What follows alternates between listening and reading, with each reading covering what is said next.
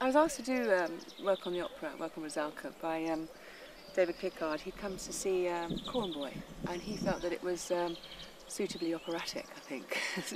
he, maybe he saw an, op an opera, opera, director in the making, I don't know, but he, he um, asked me if I'd like to come and do something at Glyndebourne.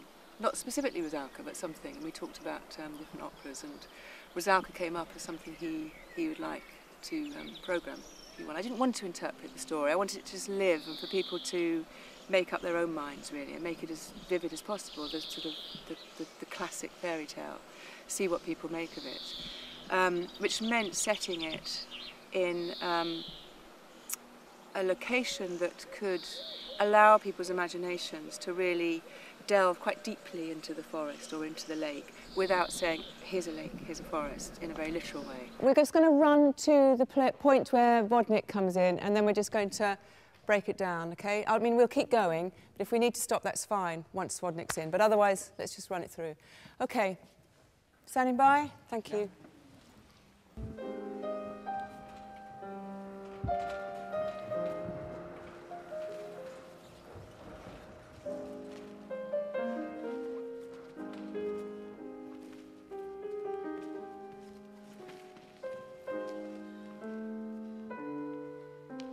Brilliant.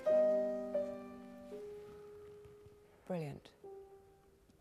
Traditionally, there are three wood nymphs in Rusalka, but we have several. We have ten, ten wood nymphs.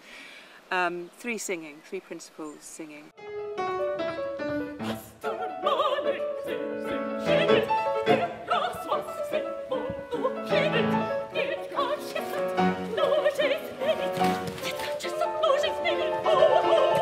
But we wanted to uh, frequent the forest actually create sort of create the life of the forest by um, working with um, an ensemble group. I mean, these are the choristers, but they're fantastic performers. Um, they certainly steep themselves, they certainly inhabit the wood and the trees, um, and it really gives life to the to the those particular scenes.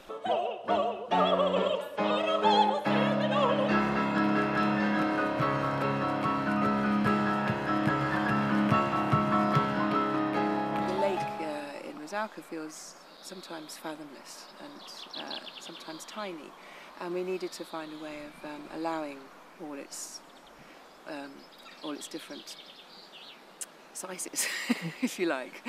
And uh, you know, sometimes you can imagine the prince swimming on the surface of the lake, and sometimes you can imagine him and Rusalka deep inside the lake. And we needed to find ways of achieving that. And one ways we've uh, explored swimming in the water is really thinking of ways of defying gravity, really.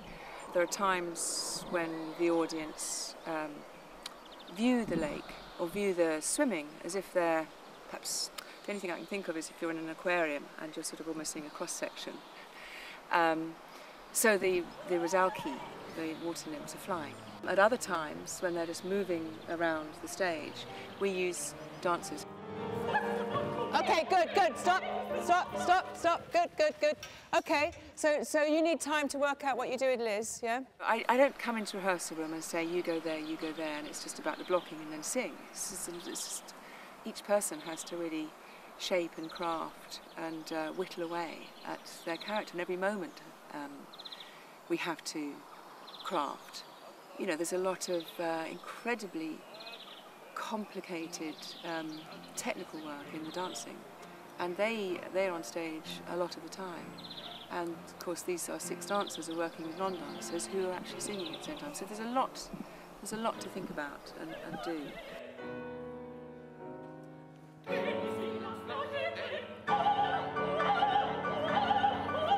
Okay, stop, stop, stop, stop, stop, stop, stop, stop, stop, stop. Good, thank you.